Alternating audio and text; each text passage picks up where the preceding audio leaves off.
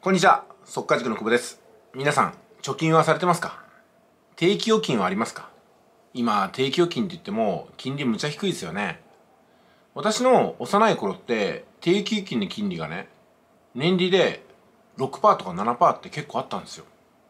で今回ねどんな話をしたいかっていうとメンバーシップ限定にはなるんですけどもこの定期預金が今の時代で10%だったらどうします？そういうのがあるんですよ、まあまともな銀行ですよ。うん。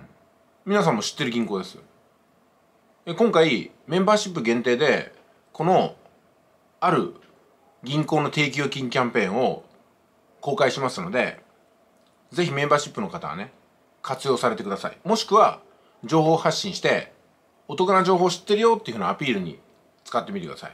えそしてメンバーシップのメンバーではないんだけどもどうしてもこの情報が知りたいって方はねメンバーシップ入ってください。390円で1ヶ月入れます。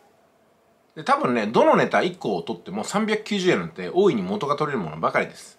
あと気に入らなかったら1ヶ月だけね入って390円はちょっとねお支払いになっちゃうような感じになりますけどもまあ来月解約すればいいじゃないですか。そういう感じで今回の提供金10%キャンペーンご興味のある方はメンバーシップにどうぞ。いってらっしゃい。